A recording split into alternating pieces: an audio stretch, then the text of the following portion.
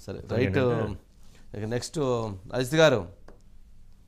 Good evening good evening అండి. ఏంటండి అజిత్ గారు? పాపం కవితని అరెస్ట్ చేసి తీసుకెళ్తూ ఉన్నారు. మరి ఎయిర్పోర్ట్కి తీసుకెళ్ళి ఇప్పుడు ఢిల్లీకి తీసుకెళ్తారు. రైస్ అవెన్యూ కోర్టులో ప్రొ- ప్రొడ్యూస్ చేసేట్లున్నారు. ఏంటి ఎలా ఏమని చూడాలి ఎలా చూడాలి? వంశీ గారు అంటే ఒకటి ఢిల్లీ లిక్కర్ స్కామ్ అని అనేది మొత్తం కూడా అంటే ఈ స్కామ్కు సంబంధించి మొత్తం అందరూ కూడా సౌత్ గ్రూప్కు సంబంధించి ఎవరైతే ఆరోపణలు ఎదుర్కొంటున్నారో వాళ్ళందరూ కూడా అప్రూవర్లుగా మారిపోయిన నేపథ్యంలో చివరికి కవిత పిఏ అశోక్తో సహా అందరూ అప్రూవర్లుగా మారిపోయిన నేపథ్యంలో చివరికి ఇక కవితని అరెస్ట్ చేయక తప్పని పరిస్థితి ఈరోజు వచ్చింది. ముఖ్యంగా ఈడీ ఆమె భర్తకి సమాచారం ఇచ్చి అదేవిధంగా పద్నాలుగు పేజీల రిపోర్టు కూడా ఎందుకు కవితను అరెస్ట్ చేయాల్సి వచ్చింది అని అనేది పద్నాలుగు పేజీల రిపోర్టు.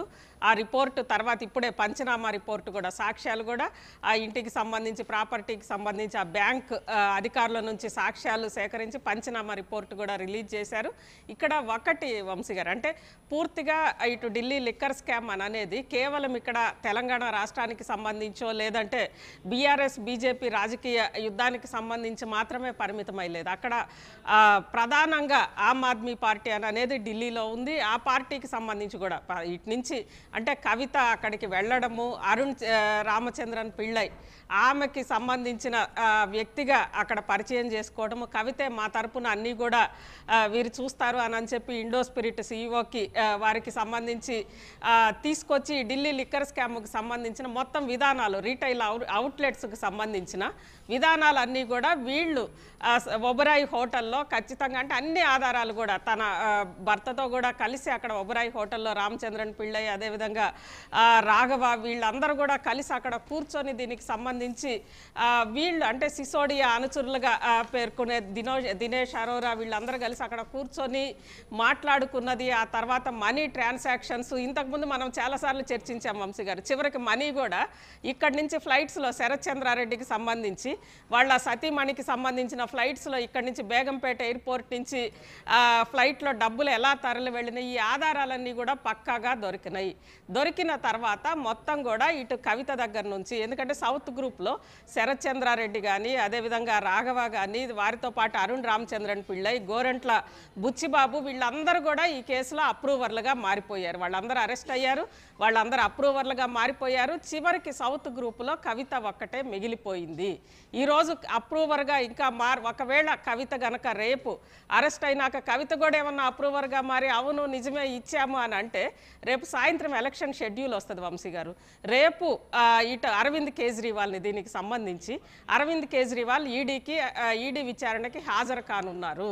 రేపు ఢిల్లీలో ఇంకా అతిపెద్ద ఏదైనా ఒక పరిణామం కీలకమైన పరిణామం చోటు చేసుకునే అవకాశం ఉంది. ఎలక్షన్ షెడ్యూల్ రాక ముందు నిమిషాల్లోనో ముందు గంటల్లోనో దీనికి సంబంధించి కేజ్రీవాల్కు సంబంధించి కూడా ఏదైనా ఒక చర్య తీసుకుంటారేమో అని అనేది ఇప్పుడు దేశవ్యాప్తంగా కూడా చర్చ జరుగుతోంది.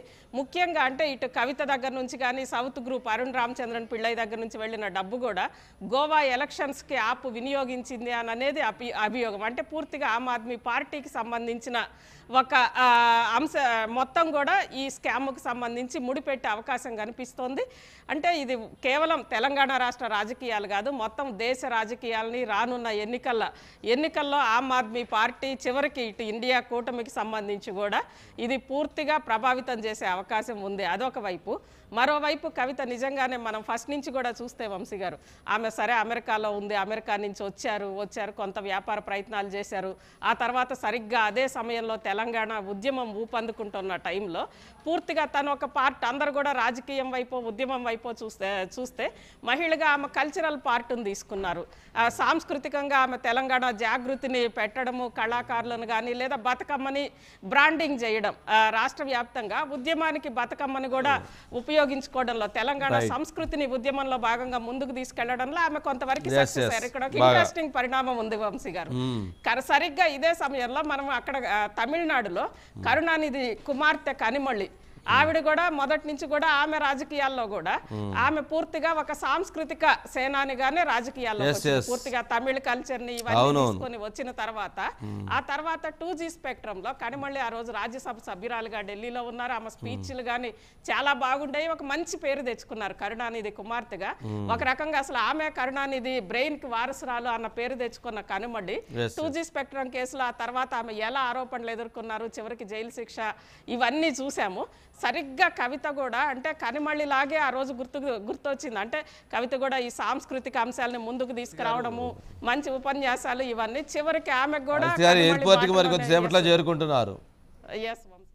ఎయిర్పోర్ట్లో చేరుకుంటున్నారు. కనిమిలి కూడా చానాళ్ళు పాపం జైల్లో ఉంది. పాపం కనిమిలి కూడా చానాళ్ళు జైల్లో ఉంది.